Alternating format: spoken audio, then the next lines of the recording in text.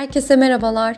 Bugün sizler için son zamanlarda adından oldukça fazlasıyla söz ettiren Red Velvet pastası hazırladım. Gerçekten görseli ve lezzetiyle oldukça muazzam bir pastaydı. Hemen detaylarına geçmek istiyorum. 5 adet yumurtanın sarısını ve beyazını ayırdım. Sarısının üzerine 1,5 su bardağı şeker, yarım su bardağı sıcak su, yarım su bardağı sıvı yağ ekliyorum. Ardından 1,5 su bardağı kadar toz kırmızı kek miksi ekliyorum rengini verebilmesi için. Yarım su bardağı kadar nişasta ekliyorum. 1 adet kabartma tozu ve 1 adet şekerli vanilin ve 2 su bardağına yakında un ekliyorum. Hepsini tamamen çırpıyorum. Hepsini bir arada çırpmamın sebebi de e, kek miksinin rengini tamamen verebilmesi için de. Rengini görüyorsunuz bu şekilde oldu. Yumurta aklarını başka bir kabda e, tıraş köpüğü kıvamına gelene kadar çırpmıştım. Yarısını ekledim ve spatula ile aşağıdan yukarıya doğru iyice yediriyorum. Kalan yarısını da ekliyorum. Yumurta aklarının havasını söndürmemek için oldukça yavaş ve dikkatlice yapmamız gerekiyor bu işlemi. Ben hızlandırdığım için hızlı görünüyor olabilir ama e, oldukça yavaş yapıyorum bu aşamada. Görüntüsü bu şekilde oldu. 19 santimlik tabanlı kek kalıbım var. Tabanına ve kenarlarına yağlı kağıt yapıştırdım ve harcımı kalıbıma alıyorum. Önceden ısıttığım 175 derece fırın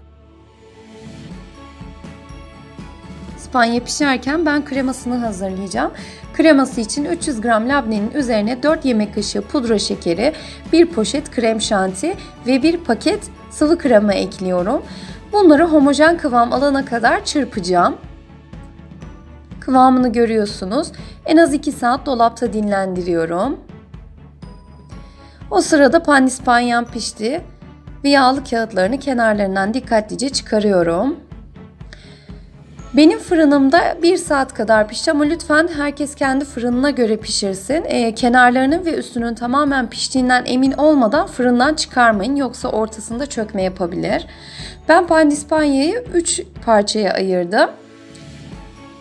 En üst kısmını en alt kısmına e, ekliyorum ve üzerini tamamen sütle ıslatıyorum.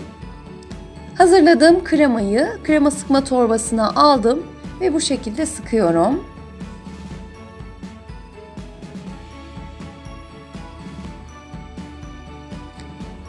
Kısmına ise çilek ekliyorum. Tabi siz isteğe bağlı e, beyaz çikolata, sütlü çikolata ya da muz falan da ekleyebilirsiniz. Orta kısmını da yine ekliyorum ve üzerine tamamen ıslatacak şekilde sütle e, kaplıyorum. Ve yine kremayı aynı şekilde sıkıyorum.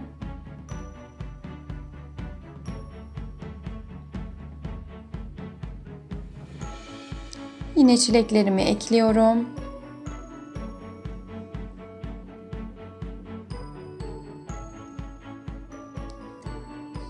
Son kısmını da kapatıyorum ve üzerini yine sütle ıslıyorum. Pastanın yumuşak olabilmesi için bol sütle ısladım ben. Kalan kremamı da üzerine yine aynı şekilde koyuyorum.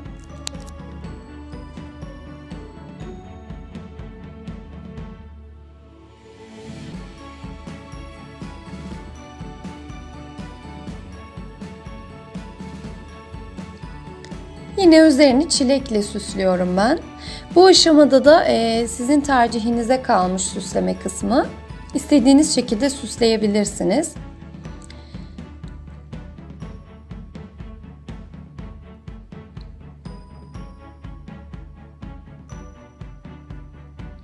Kekin arta kalan parça kısımlarını ben üzerlerine serpiştiriyorum renk vermesi için.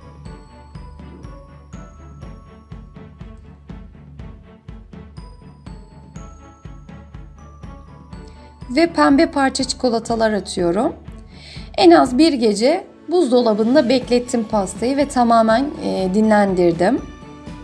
İç kısmını da göstermek istiyorum.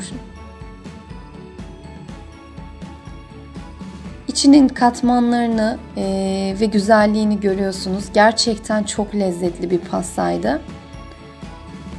Herkese tavsiye ediyorum denemenizi. Tarifimin sonuna geldim. Lütfen videoyu izlediyseniz eğer e, değerli yorumlarınızı ve abone olmayı lütfen esirgemeyin benden. Görüşmek üzere, hoşçakalın.